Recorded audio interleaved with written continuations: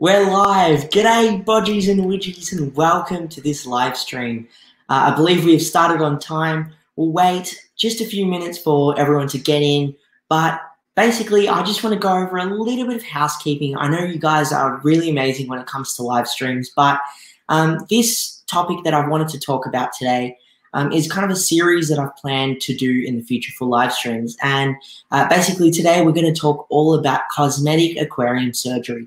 Now, the reason that I wanted to do this type of live stream where we cover, I guess, controversial or topics in the aquarium hobby that aren't really covered is because um, they're not covered. It's, I think it's always important to cover both sides of something. So we always see a lot of great things when it comes to the aquarium hobby, um, innovations, things that we've achieved, species that we've conserved. But I guess there's never really much focus when it comes to, um, I guess, the more darker sides of the aquarium hobby or topics that when you bring up conversation with someone will generally go either one, they agree with you, or one or two, they will completely disagree with you. So I guess um, this topic is kind of falls in one of those little categories, but it's always good to um, good to talk about them. Another thing that um, I want to kind of address is the reason I wanted to make this a live stream is because I would totally appreciate your input when we um, talk about some of the topics that I have planned for today. Uh, I could have made this a video and then answered your comments, but by having an interactive audience where I can both um, ask questions and receive answers, plus your input as well, uh, is going to be very much appreciated. And also because it is a live audience, we may have differing views with some of the things that I will be talking about today. So if that is the case, uh, let's try and keep this as professional as possible. Uh, this isn't something that I really have to say. I know you guys will be uh, tip-top behavior, but um, just something that I wanted to address, I guess, as, uh, as rules or housekeeping. This is a safe space, so uh, you know if you are going to share something, try and make it uh, professional. So cool let's get right into it. We'll do a quick catch up of the chat. Uh, Mad P, hello. Uh, I'm doing great. Maddie D, thank you for joining in. And thank you for all the people that uh, uh, I guess uh, haven't made themselves aware in the in the chat. So you know, if you do, make sure that you do say hi, um, and you know, to yeah. So let's get right into it. Aquarium cosmetic surgery. Now, this is a term that some people may have heard, some people may not have heard. So I guess to define it in basic terms, cosmetic surgery is what we do, I guess, in humans to make ourselves look better. And that's exactly the same term when it comes to aquariums. Aquarium cosmetic surgery is a practice of, um, I guess, changing the physical appearance of a fish in order to achieve some desirable traits or make it look better. And Sometimes it can go really well, other times it can go really bad. And there's also a very fine line when it comes to what's ethical and what isn't ethical. What kind of surgical practices can we do and what kind of surgical practices can we not do? The fact that we're dealing with fish here, we can't really get consent from them. So um, that's always a bit of a problem. And we're still kind of on the fence about whether fish can feel pain or have feelings or things like that. So I guess when we look at a human point of view, a surgeon can't really go up to a random stranger and do plastic surgery on them. But in our case, we are the sole owners of our fish, so we get to make that decision of whether we want to do that or not. So to give people, I guess, a proper example of where aquarium cosmetic surgery or these kind of practices happen is, uh, let me get up a picture, which is a fish that you guys will be very familiar with. This here is the Asian arowana. Now, Asian arowana are by far one of the world's most expensive aquarium fish. And they're, they're deemed to be this beautiful fish that can bring a lot of, um, uh, I guess, uh, like luxury and uh, wealth to people. So whenever people get Asian arowana, they see them as kind of an investment. They spend a lot of time into grooming this fish and making it look better or trying to make it look to the best of their abilities. And in doing so, sometimes it requires cosmetic surgery to be done on these fish. Uh, and that can involve a multitude of things like fanning, uh, which, uh, which is a process which is done on the fins, which we will look at uh, a little bit more in detail. So fanning, we've got tanning lights, which really brings out the color of the fish, and a couple of other things like removing scales in order to promote growth and things of that sort. Another time we see cosmetic surgery really taking place in aquariums with Asian arowana is through drop eye correction surgery. So you'll see the silver arowana here, um, a very beautiful fish, but when you see the eye, it's tilted down low. And this can sometimes put strain on the nerves and the fish itself because a fish like an arowana, which has always got eyesight which is meant to be looking up, has now had its eye turned down. And this can happen through a majority of reasons. The exact cause yet or still yet has not been specified. So um, people or aquarists have come through experience to, um, I guess, come to the conclusion that it's EU it's usually through food. So if you feed your arowana a lot of fatty foods, that can cause um, fat to build up behind the eye and cause the eye to kind of bulge out or if you've got issues in your water quality, or if the arowana is being distracted by things at the bottom of the aquarium. Um, a whole bunch of different theories that haven't exactly been proven yet. However, drop eye is an issue that we see very, very regularly with a lot of captive bred silver arowana. It's also prevalent in Asian arowana, just not as much. So my personal theory is I believe it's genetics because if we see it with wild silver arowana, it's it doesn't happen. However, captive arowana, we see it happening a lot. Okay, so um, that's a whole other topic, but um, yeah, drop eye. So in order to correct this, a lot of times what um, I guess a lot of experienced aquarists will do is sedate their arowana through clove oil or some sort of anesthetic, take the arowana out, and they will uh, actually, uh, what they'll do, one second, what they'll actually do is remove the fat behind the eye. So you can see here, this, you can see here, we've got uh, just a small, I guess, surgical scissor, and that's used to just cut the skin behind the eye. And then what will happen is that, um, uh, sorry, I'm just using something new at the time being, but what will happen is they'll actually remove the fat. So as you can see there, they cut around the skin first, and then they'll use tweezers, tweezers, tweezers. They use tweezers and scissors to cut out and pull the fat out. So um, by doing so, what will happen is that once the arowana, uh, I guess, um, has that fat removed, the eye will just go back to normal. So you'll see um, again, so with this Asian arowana, how it has drop eye. Once you remove that fat and the eye or there isn't this volume behind the eye to, I guess, push the eye out, the Asian arowana will hopefully go back to normal. So you see this. Um, and this is a very common practice that you see with a lot of people that have pride in their Asian arowana and they want it to look the best. Even with this arowana on screen, you can see that it does have a little bit of drop eye present. And um, I, I am completely coming to the conclusion that it's probably through genetics and food. Now that we've got that done, let's have a quick uh, catch up of the chat. Alice KH, hello, thank you for joining in. Mad P, I bought a female guppy today and just realized it is pregnant. Now I have to buy a separation box because my angels will probably eat the babies. What you can do, I guess, is um, just get a Tupperware container and usually you can kind of wedge it into the corner of the aquarium and put the female guppy in there for the time being just to protect those fry. Um, already have two males and five females, hoping they breed more. Yeah, guppies, especially with, um, if you crank the temperature up a little bit, they will be uh, a lot more uh, susceptible to breed. Um, the temperature really speeds up the metabolism. Blake's Aquatics, hello, thank you for joining in. Uh, Blake did really help me out with uh, trying to get these little pictures and things to pop up and a lot of the um, technical stuff regarding the stream. So massive thank you for that. does this occur in the wild?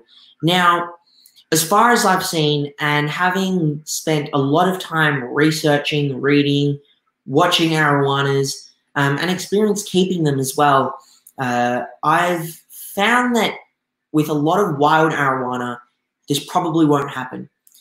Majority of reasons, like we said, diet, genetics, and also uh, their environment. So when you see Asian uh, silver arowana and Asian arowana in the wild, their uh, I guess their vision is always looking up to find their next meal. So um, I find that they don't generally have these um, these kind of drop eye problems in the wild. So yeah, in order to combat this, like I did show, they would do a lot of drop eye removal or drop eye correction surgery. The next thing that I find very common um, as a surgical practice done with, again, Asian arowana is fanning. So fanning is basically when they get the fins of an Asian arowana and they'll take a small surgical needle and just split every single, or I guess little sections of the fin. So as you can see in this picture, the fin is currently like this. And what will happen, or what will supposedly happen, is that as the fin heals, it'll actually develop more fin or webbing, I guess, to go in between these sections. So if you've got a fin like this, so if you've got a fin like this and you fan it out like that and it heals, now you've got a fin this big. And if you do it again, it'll get this big and this big. So um, they do that for purely aesthetic reasons in order to get the fin nice and big. So when the arowana swims, it looks more graceful and it flows and things like that. Is it ethical or is it safe? That's uh, something that we'll get a little bit later into this uh, into this live stream. Now, I do plan on only keeping this live stream to run for about an hour, just so we can get things covered in that uh, short amount of time, just so it's precise and to the point. Um, but yeah, fanning is something that uh, is a, is a very common surgical practice that does happen. Another one that we see is scale removal. Now, this one, and I'll, we'll get to my personal opinion a little bit later, but this practice here that we see is where the fin, or sorry, the fin, the scale of the Asian arowana is removed. And this could be for a multitude of reasons. With this one specifically, it's because there is a very, very small chip in the scale. Again, this is purely for aesthetic reasons. There is no, I guess, biological or survival benef- benefit for the fish by removing the scale, um, uh, purely for aesthetic reasons. Now, um, yeah, like I said, the scale does have a chip in it. When we look at, and, or how do I word this? What I, or my personal view on this is, I think it's okay to do a surgical practice on a fish if it does benefit, or if it benefits the fish in terms of survival. Now, or making it live more comfortable. If we see drop eye surgery I would personally be comfortable with a fish getting that done just because imagine if you had to spend the rest of your life looking down, just straight down, and you can't move your eyes anywhere else. That would put tremendous strain on your nerves, your optical nerves at the back of your eye. Um, and over time, I feel like it would just lead to the arowana becoming stressed um, and leading to a couple of issues like that. And it's purely because uh, or I think it's okay to do purely because it aids with the life of the fish. However, when it comes to fanning and removal of scales, that's done purely for aesthetic reasons. It's an invasive procedure that happens on the fish. Though it doesn't really result in in the fish, I guess, taking any physical damage, it does mean that that specific point in time, the fish has to go through stress. Um, you having to take out the fish, give it anesthetic, and then you know do the procedure, put it back. There's a lot of room for error if you're not completely thoroughly practiced with this, um, and and and there is, like I said, a, a, very big room of error. If you overdose anesthetic, that is a three thousand dollar fish. Not even price aside, that is a fish, that is a life that has lost because of your action. So these are these are, I guess, um, aspects of um, cosmetic surgery where things get a little bit muddled. Uh, if we do a quick look at the chat, what kind of cosmetic things can you do? Slash, what do people do on smaller fish? Okay, uh, now reasons why that is a great question. When it comes to cosmetic surgery on smaller fish, I haven't seen it as prevalent. I think it's mainly because of price. When you look at the effort or time that people take on an Asian arowana, it's a lot more effort and time because it's a $3,000 fish. However, when it comes to a fish like a guppy, the maximum you're spending on that is maybe around $50 for a pair.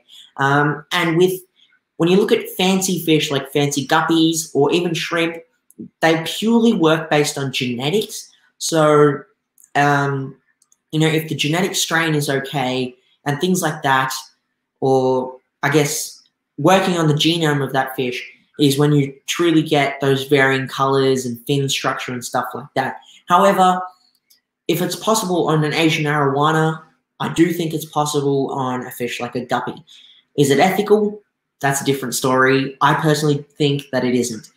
Um, doing a little bit of a catch up on the chat, Cooper's Aquatics, a bit inhumane, don't you think? Personally, completely agree with that. Um, like I said, though, when it comes to dropper eye correction surgery, if it makes the life of the fish better, then yes. However, there is also that risk involved of the fish or of that surgery going completely wrong. So um, there is always that risk that you should 100% consider.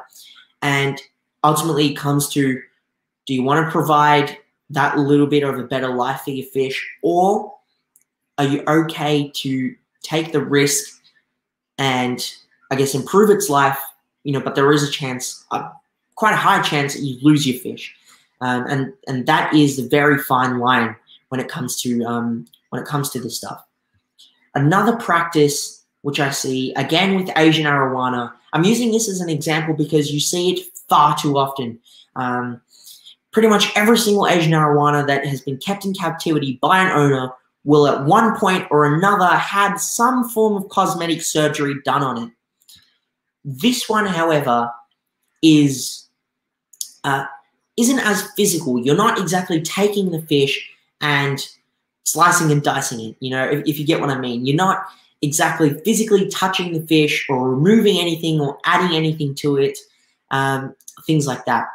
This is a practice called tanning, and what that is is you get uh, some UV lights, strap it to the side of the aquarium, and those lights constantly hitting the scales of the fish will tan the fish. Basically, what happens to humans. If we go to the beach uh, and sit out in the sun for about an hour, we will get tan.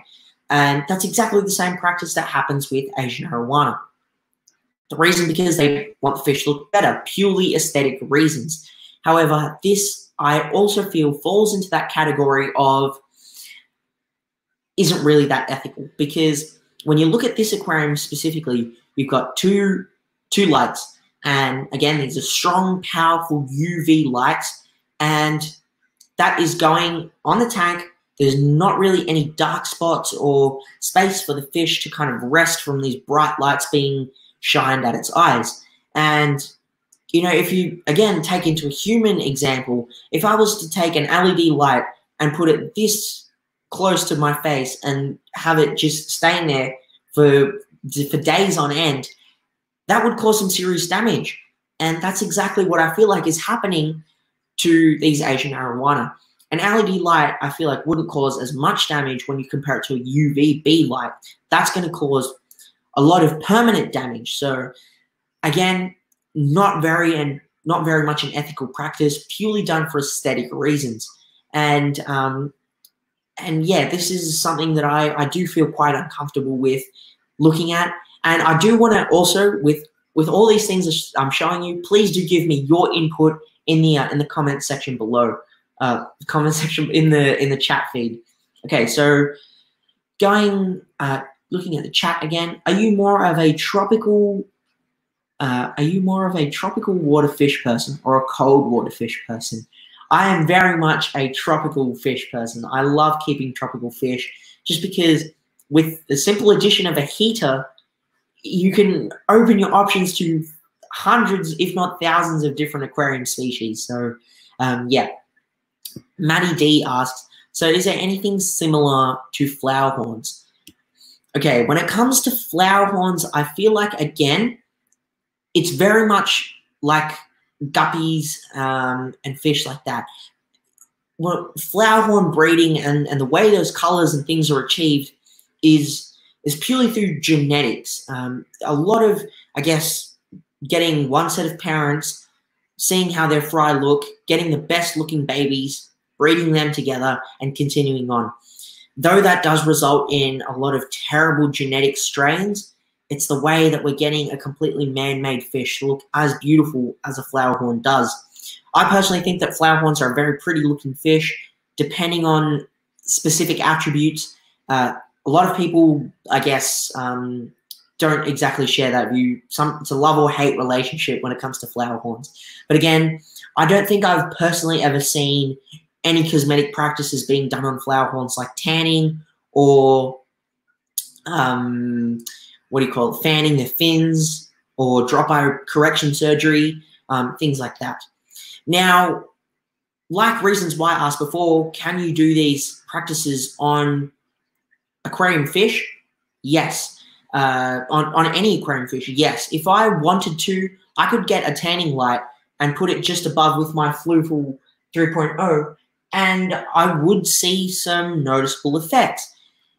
And I guess that is again a very fine line of where in in this photo that we that we still have on the screen i'm just readjusting myself a little bit. When we see this photo that we have on the screen these are two tanning lights that are going across the side of the aquarium. However if i was to maybe just have one on the top will the effects be the same? No. But will you see a little bit of minute differences? Possibly yes. But would i personally do it? Not really However, if I was to get my Roseline sharks, put them in an aquarium by themselves, and just keep the tanning lights on the top, will their colors be way more phenomenal than they look now? Absolutely, 100%.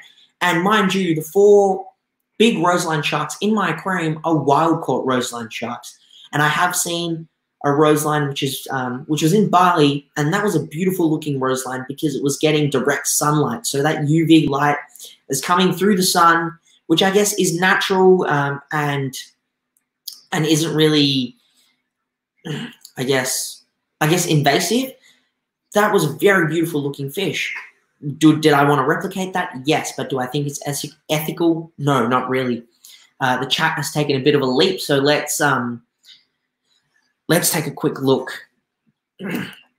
Just to play devil's advocate, how do we know that UV actually bothers the fish? Great question. Uh, I guess we don't. We we completely don't. There's I, I feel like there hasn't been enough long-term scientific research that's gone into proving that UV light does not affect fish in a negative way.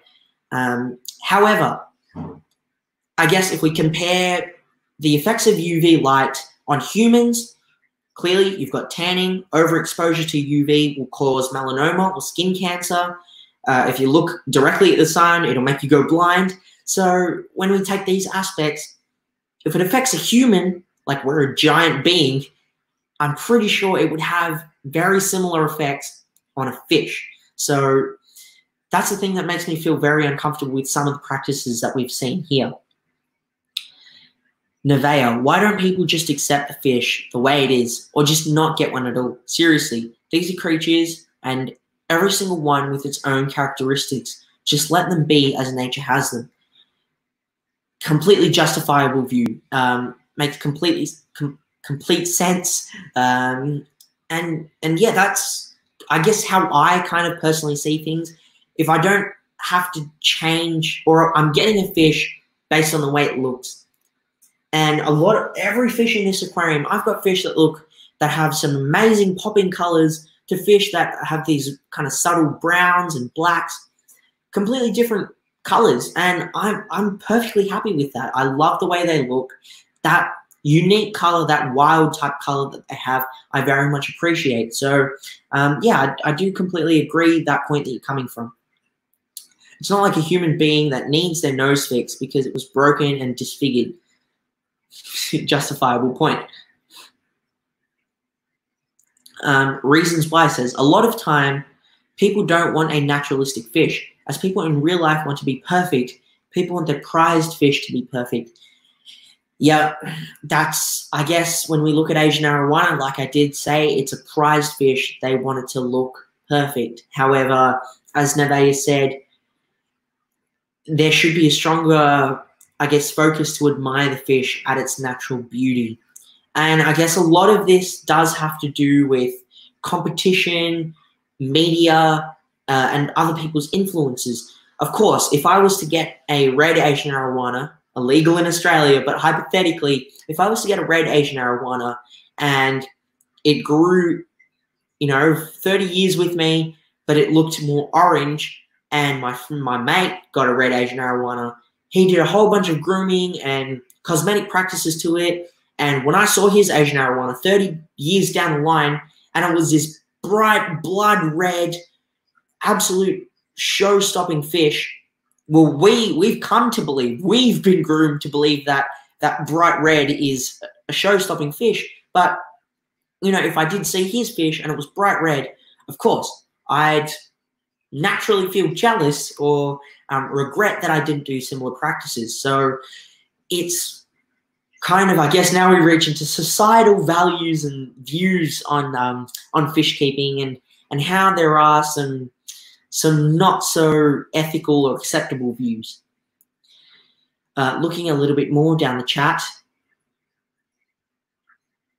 this also comes into the topic of non naturalistic scapes being the way we want them to look as good as possible by not being naturalistic in some circumstances. That is another thing that I very much don't really like about this hobby. I mean, if you're going to do an aquascape, that's you know th- that you would never find in nature 110% go for it. But would i be comfortable putting fish in there?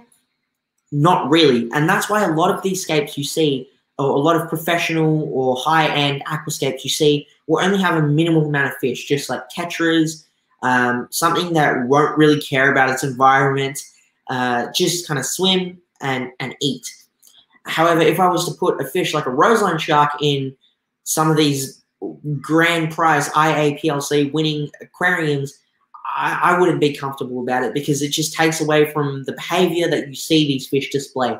But that's another topic. Um, going again, reading the chat, there is a difference between making that decision for ourselves as opposed to making that decision for another creature. Again, completely justifiable if I was to make that, if I was to go and make that aquascape completely, you know, high end, make these crazy valleys and things like that, um, something that you'd never see remotely close to nature, we should be the ones that make that decision of is it safe to put that fish in that aquarium and will it have a proper life or um, you know are we going to take the greater good of the fish first uh, and not put the fish in there some practices, such as Bozzy was saying, are, accept- as, are acceptable, as well as some aren't. My view is if it doesn't hurt the fish, it's acceptable. Creature is an environment. Yep. Harming Jew, is this uh, strictly about drop eye? No, no, no. We're, we've still got half an hour and there's still a lot of topics that we're going to cover. Um, Blake's Aquatics. What about tattooed fish? You're a smart one, Blake. that is a topic that we're going to be covering. Disgusting practice, 100%. Some people find drop iron stuff undesirable. Completely, um, aesthetically, it is und- undesirable. And I feel like on the fish itself, um, the fish isn't going to be going through the happiest of life. You know, like I said earlier, if it's looking completely down, if you hold that for about 10 seconds, there is immediate strain on the back of your eyes. So, yeah, um, not exactly not exactly um, comfortable with those kinds of practices. How we want things to be perfect was not comparing to fish's pain, hence why the non-naturalistic scapes are all high ranks in the IAPLC. Yep. Okay. Differing views, uh, guys. So you know, we'll we'll try not to make this kind of like an argument, but um, you know, I, I do I do get where you're coming from. Uh, reasons why is just trying to highlight um, the facts, which is which is what I'm trying to do as well. Just kind of highlighting the possibilities, the the practices that happen, and then giving my view on them. Uh, that's why naturescapes and biotopes are very different. Yeah, especially the very open ones that can stress fish out 100%. Uh, okay, so let's get into the next cosmetic or prevalent cosmetic practice that I see happening relatively recently with fish. Um, this one, I do want to kind of give a little bit of discretion because for some people it may be kind of a bit uncomfortable to look at. Uh, yeah, well, I'll just show you the picture. So uh, this one here, what we're going to have a look at is a love heart or heart blood parrot. Now, you'll see one very striking thing that comes out with this fish. It's missing a tail. And this is not genetic. It is purely done for the simple aesthetic reason that a fish will look better swimming around like a blob without a tail. Do I think this is a completely disgusting view? 110%. I, uh, just the, the level of disgust and and I guess anger that I see when when I look at a photo like this, it, it really does disappoint me because we've got you know blood parrots go through enough as it is. They're a man-made fish. They have enough genetic problems with them, like they can't close their mouth, compact body, compact like disformed spine, a lot of issues with them. The fact that now you're making that fish's life even more terrible by cutting off its tail when it's a baby is is completely terrible. Now, this honestly does not look like a love heart to me. Uh, and yes, the fish literally cannot swim with its tail. It is just a blob that is moving like this without that streamlined beauty that we see that we want in our fish. You know, we, we, we want to see this, this natural way that they swim, but um, this is a, a, very disgusting cosmetic practice which is done on aquarium fish. Um, now, when you look at this practice, like I said, when these fish are very young, when they fry, their tails are cut off that can lead to a, a giant amount of problems. If you've got 10 of these normal blood parrots and you cut off their tail, I assure you that at least five or even more will die, usually through blood loss, secondary infection, um, stress, uh, sickness, a whole bunch of different things. So not only are you basically doing a suicide mission on these fish, you're putting their whole life, the rest of their life, through absolute hell, um, which is, you know, it, it's it's a very disgusting practice, and yeah, it's it's just not good. Catching up on the chat, that just makes me want to cry. To think that a human would decide that a fish doesn't need its tail. I have a pair of blood parrots that I adore. Would not would not even think of doing that to them or any other fish for that matter. 100%. And I feel like any caring owner of their fish would not want this to happen. So, yeah, um, just not not a great practice. And you know, we can we can see that close up just how how dismembered this fish is. The way that it's healed. It's if you look at that, there is no um, biological way that this fish is benefited for survival. You know, when, when we aesthetics and stuff aside, uh, it's in terms of pure survival. If you go on a trip for like a week and come back, this fish will 100% be dead. It'll have just tired itself out so much from barely being able to swim and using all of its energy. Um, and it is completely, completely terrible. Now, you may notice something with this fish. The color is a lot more brighter than, I guess, one of the blood parrots like we saw before. Uh, now, this may not be 100% true with this picture, but the next disappointing cosmetic practice we're going to see that happens quite regularly with a lot of aquarium fish is dyeing. Now, I'd give me a second. Whew. Now, at first glance, when you see this fish, or these fish, these are still blood parrots. It's mind blowing to see this sort of vibrant color that we'd never see in the wild or never see with a lot of fish. This beautiful, vibrant blues, greens, purples, pinks. But when the truth is revealed, these fish are actually, they're dyed. They are literally taken as juveniles, dipped in a high concentrate dye that burns off their slime coat, which is the protective layer, the protective barrier of the fish. Like how we have skin, fish also have skin, but they also have their slime coat, which is another physical barrier on their body.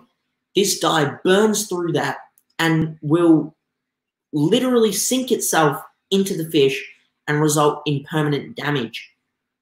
Now, sure, I guess once the slime coat kind of heals back, the fish may be better, but during that time, it is susceptible to everything. Everything.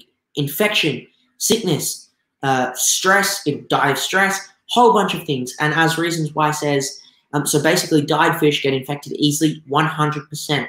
The dye does not only stick to the external parts of their fish, but also everything inside. Once these fish are put in this 100% concentrated dye, it's going inside them, their organs, everything inside their body is is being changed into this one singular color, uh, and it it is again purely for aesthetic reasons. There is no biological or survival benefit or living benefit that this fish is given through these cosmetic practices, purely for aesthetic reasons. Uh, just doing a quick catch up on the chat. Indeed, okay. Here's a thought. Is this different to breeding for long fins because they look more majestic and that inhibit movement in terms of mobility? 100%. This is similar to strain breeding or line breeding. However, that is a different topic with a couple of other aspects that I want to cover. Cosmetic practices is basically taking a a normal fish or a proper fish and then physically manipulating it or changing it in order to achieve completely something different. Genetic breeding or line breeding and things like that is basically a slow and gradual progress of work that's done in order to change the fish generations and generations in, if that kind of makes sense. Uh, okay, Yoda, the force is strong with this one. Is is that my passion for fish? Because yes, uh, my force is definitely strong. Those look like GloFish. Yeah, uh, GloFish. However, it though it is cosmetic, GloFish are more genetic. They took the ge- the genes of a bioluminescent jellyfish and injected it into the uh, eggs or embryo of a um, of I guess a fish, any fish in it, for example, a danio, they inject it into the embryo of a danio. So when that baby is born, it's bioluminescent.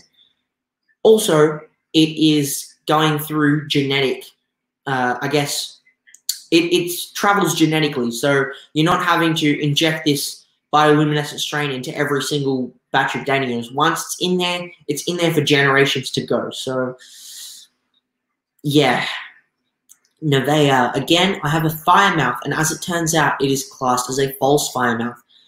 Does not make me want to run out and find a way to get the colors on it that are not there. 100%. And I guess there is a practice that is done, which I haven't covered yet. Uh, I guess I should have done this earlier. There is a practice that is done with a lot of people in order to get uh, and I, this is something I'm a little bit more comfortable with. See, if I was to get my Praecox Rainbow, the one that you can just see behind my hand, and want it to look better in colors, there are two ethical things that I can do. Firstly, is feeding them a high quality food. Extreme Aquatic Foods is a food that I swear by. It is, um, you know, I'm not sponsored or anything by them. It's just that this is the best food that I have ever fed my fish. The ingredients, the quality, and and everything that you see in this food is is healthy for the fish. So it's like if I was to eat hamburgers all day, every day, mm, both my physical appearance and my health would completely deteriorate, you know? But by feeding, by having a proper diet, it ensures that my skin is good, my physique is good, um, uh, and, and things like that. So, and, and internally, I'm healthy. So feeding them a high quality food with good quality ingredients, like extreme aquatic foods, it changes them long term to make them look better.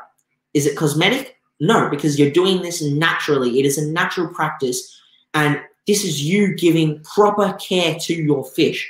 So, and I noticed that instantly as well. When I, even after a week of feeding extreme aquatic foods, I found that my fish were acting better, swimming better, feeling better, looking better. So, um, just just giving them quality and care is is all that matters. So yeah, uh, another thing that you can do is lighting. Uh, lighting is something that we do for every aquarium, just because we want to be able to see our fish. If you left your fish in complete darkness, they wouldn't be having a very happy life. So um, up top, I have a Fluval 3.0. Though it does look very bright through the the camera, um, it's it's not as bad when you look at it in person, uh, and that basically makes the environment of the fish that are living uh, brighter, so they can see where they're going, feel less scared, uh, feel more comfortable, and things like that. So lighting, natural LED, just basic LED lighting, nothing crazy like um, uh, UV or, or tanning lights. Natural LED lighting is is always is always a good option. However, in doing so, there is always a negative. When we saw foods, there are also foods like this. This is White Crane's color enhancing palette. Feeding this palette will 100% give you uh, noticeable differences in the long term. You will definitely see a difference in your fish because that's what it's designed for. It is designed to make your fish look more colorful. However, when you feed a food like white crane regularly and often, it will often result in the fish becoming one, sterile, meaning it can't breed. And that clearly already tells you that it's not healthy in any way, shape, or form. If it's inhibiting a fish from breeding, then, or breeding, then it means that its health is compromised in some way or another. So foods like this probably don't have great ingredients, are filled with chemicals, and isn't isn't good for, for fish at all. Doing a quick catch up on the chat. Uh, hey, hey, how you going, Bodgie? Hello, Jason. Thank you for stopping by. Um, we've been going for quite a fair while, so um, you may have missed a little bit genetic now, but they started out by injecting them. Yes, uh, with a lot of, um, yeah, when it comes to tattooed fish and things like that, genetic, but then they go ahead and do more things to make an already biologically compromised fish even worse. My view is that that it's just cruel. There's enough natural beauty, no need for this. 110%. Completely agree with that statement. Happy fish is a vibrant fish. Of course, if you provide your fish with good water quality, stable water quality, a good environment, not something that's only aesthetically pleasing, but also takes into the consideration the behavior, the comfortability, uh, and and I guess personal aspects of that fish, it will display proper colors. If I was to get all of these fish and put them in a completely bare bottom aquarium no scape, no decorations, nothing of that sort, I will 100% see that these fish will not have proper colors. They will be dull because it's not their environment. So, going in the natural way, giving them a proper environment, you will notice that they will have better colors. Continuing on with the chat, uh, especially foods that have a astaxanthin like shrimp meal will help those red colors pop. Again, very sound statement. Astaxanthin is a natural chemical that you'll find in foods that you eat like carrots, bell peppers, things like that. Um, uh, they will 100% have uh, uh, what do you call it? They will 100% have proper natural um, natural changes in your fish. Live foods, they are a great option. If you see any of the fish that Blake keeps on his channel, uh, or even uh, even with Jason's uh, cichlids, he feeds frozen, high quality raw frozen foods, um, and Blake feeds a lot of live foods. When you feed those kinds of foods, you will definitely see a true change in your fish. They will look better, feel better, and and you know they'll do everything better. So um, yeah, you you definitely see. And even when you, I did a video recently where I fed my fish bloodworms for the first time ever, and the instant reactions that you see from these fish, insane. It is they they completely went crazy. So, but we're talking about food now, not cosmetic practices. Okay. So, is that a food or a hormone? A Astaxanthin is a is a chemical. Uh, yeah. Oh, are we talking about white crane foods? Yes, white crane. Uh, like Jason is saying, it, it's it, it is it is a food. They claim that there are no hormones in the food, but there has to be. Female peacock cichlids end up looking like males after a few feeds. 110%. I would not be comfortable feeding that to my fish. If if it's having that much change, and the fact that it's, again, like I said, making them sterile, then clearly it is having a high negative biological effect on the fish. Yeah. So now that we've kind of gone into the food aspect of things, let's look back into another terrible cosmetic practice that Blake did kind of touch on before. Uh, but before that, so we saw dyed blood parrots and love heart blood parrots with their tail cut off. Both of them are terrible, and this is a mix that makes things even more terrible. You've got a biologically compromised fish, and you're making it even more terrible by putting it through a toxic, high concentrate dye, which affects it for the rest of its life. For the rest of its life, um, completely terrible stuff.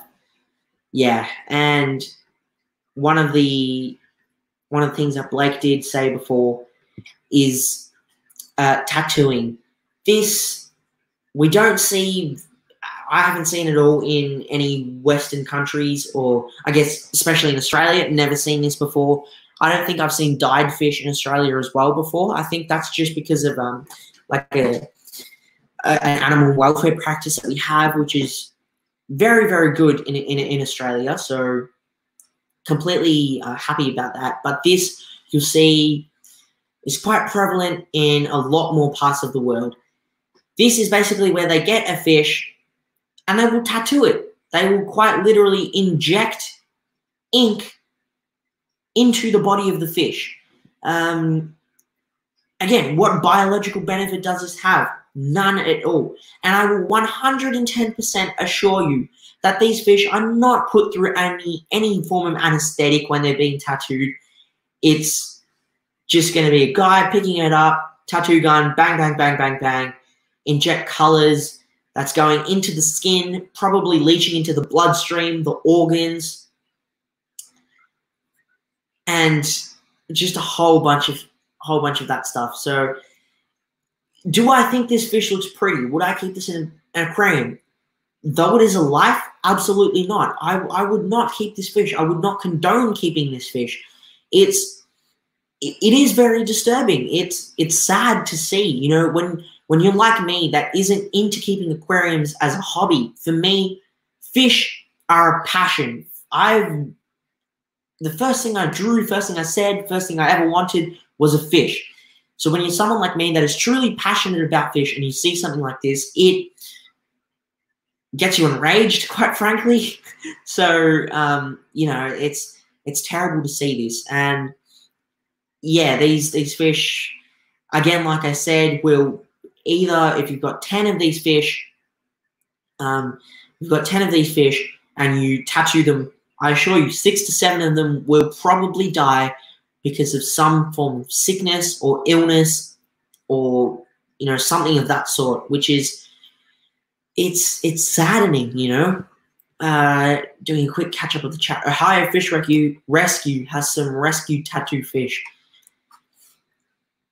If you know, again, I'm not exactly sure how I feel about that. By them rescuing it and then I guess showing it off on a YouTube channel, it promotes people that aren't exactly as well versed as us to, I guess, get develop an interest for this fish.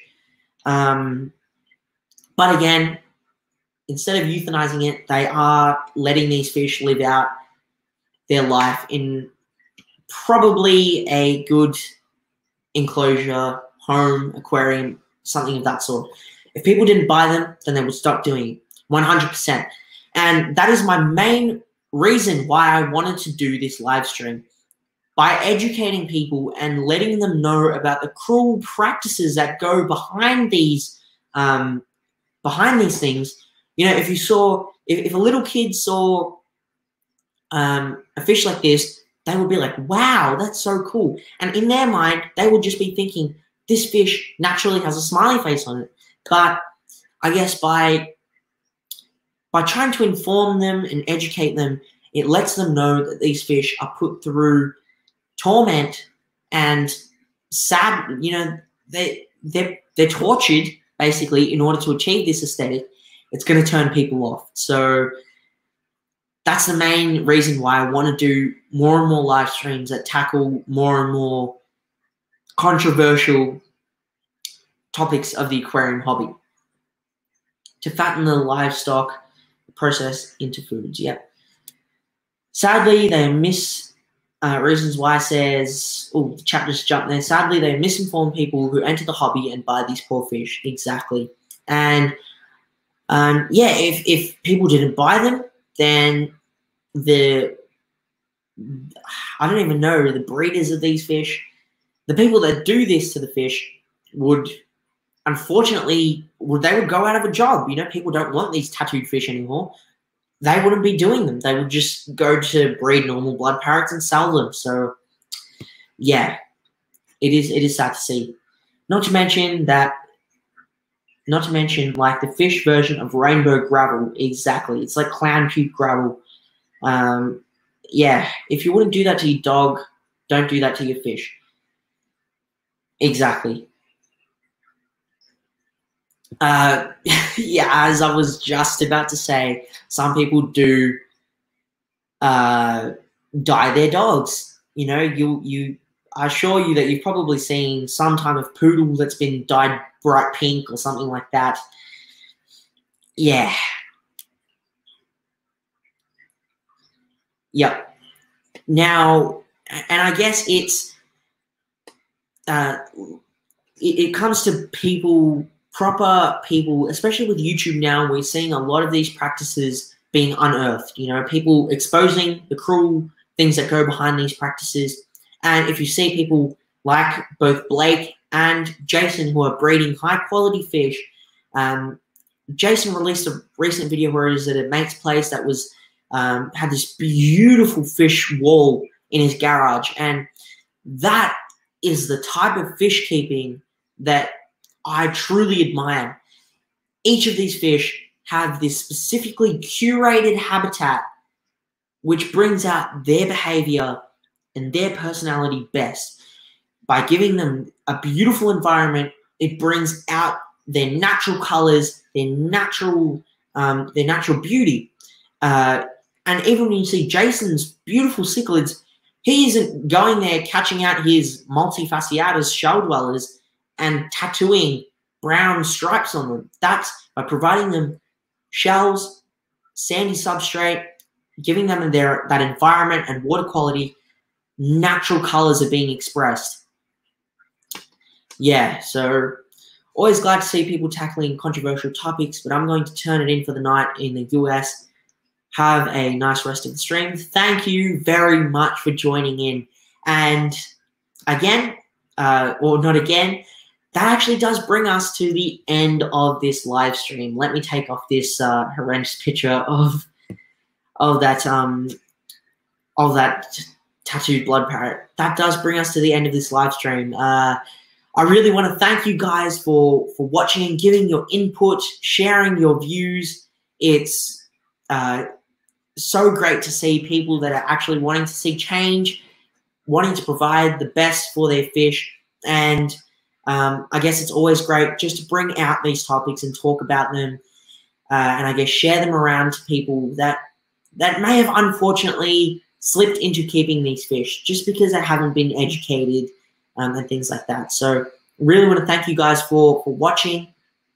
Uh, another thing that I do want to quickly mention is that this five foot aquarium behind me is being broken down. I released a video today where I'm basically um, uh, just put up some of the fish and the plants for sale. So if you guys are interested, make sure that you do check out that video. Uh, another thing I want to say is thank you so much for the people that are in the uh, that are going to watch the replay. It truly means a lot to me that you've taken the time to watch this video. I believe it's one of the most educational videos that I've produced. I'm very happy with it, and hopefully you guys feel the same way. But yeah, that does bring us to the end of this live stream. Thank you so much for watching. Uh, Maddie D, goodbye. Uh, Nevaeh, thank you so much for your input. Blake, once again, thank you for helping me set up this live stream as well. Um, I couldn't have got these pictures up without Blake. Um, and Jason, thank you so much. Really love the work that you're putting out. So, yeah, awesome, guys. We're going to call it in for the night. Uh, have a good night, day, morning, wherever you're at. Um, again, thanks for the people that are watching in the replay.